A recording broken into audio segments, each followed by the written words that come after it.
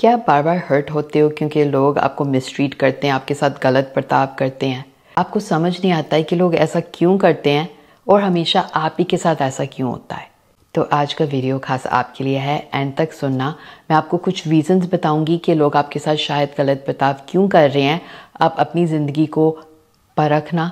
अगर आपको ये रीजंस अपनी ज़िंदगी में दिख रहे हैं तो आपने उनको बदलना है और आप देखोगे कि आपकी ज़िंदगी बदलेगी। आप ज़्यादा खुश रह पाओगे। लोग आपके साथ गलत बर्ताव नहीं करेंगे।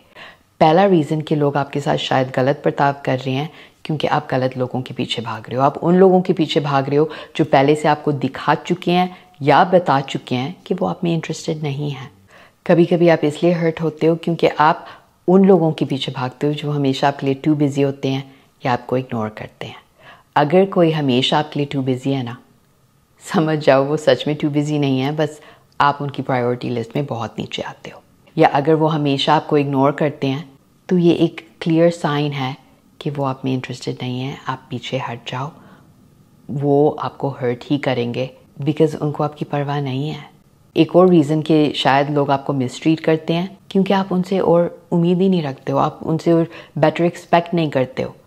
लोग वैसे बर्ताव करेंगे आपके साथ जैसे आप उनको करने दोगे। अगर आप बेइज्जती सहते रहोगे ना तो वो बेइज्जती करेंगे, बिना सोचे बेइज्जती करेंगे। अगर आप हर बार उनको लास्ट मिनट में कैंसिल करने दोगे और फिर भी आप उनके पीछे भागोगे तो वो ऐसा ही करेंगे।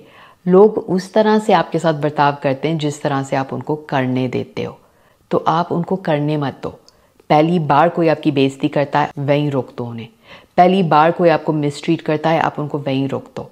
तो फिर आगे वो नहीं मिसट्रीट करेंगे। कभी कभी लोगों को आदत पड़ जाती है आपके साथ एक तरह से बिहेव करने की और वो वैसे ही बिहेव करने लग जाते हैं जब तक आप उनको रोकते नहीं हो। उनको तो एहसास भी नहीं होता है कि वो क्या कर रहे हैं बिकॉज़ एक आदत सी पड़ चुकी है उनको कि आपके साथ ऐसे ही बिहेव करना है। एक और रीज़न के लोग आपको मिसट्रीट करते हैं क्योंकि आप खुद को मिसट्रीट कर रहे हो। आप उनके लिए एक एग्ज़ाम्पल सेट कर रहे हो। अगर आप खुद के बारे में बुरा बोलोगे तो सामने वाला आपके बारे में बुरा बोलने में नहीं झिझकेगा। अगर आप खुद की रिस्पेक्ट नहीं करोगे तो सामने वाला क्यों करेगा? अगर आप खुद अपनी खुशी का ध्यान नहीं रखोगे तो सामने वाला क्यों रखेगा? बहुत बार लोग आपका लीड लेते हैं, आपका एग्ज़ाम्पल फॉलो करते हैं। जिस तरह से आप अपने साथ कर रहे हो, उसी तरह से वो भी आपके साथ करते हैं। तो अपने आप को अच्छे से ट्रीट करने लगो, अपनी कदर करो, अपनी रिस्पेक्ट करो, अपनी खुशी की फ़िक्र करो। अपने बारे में अच्छा बोलो अच्छा सोचो, अपने लिए अच्छा करो तो लोग भी करेंगे। टॉक्सिक साइकिल को ब्रेक करो, अपनी वैल्यू पहचानो।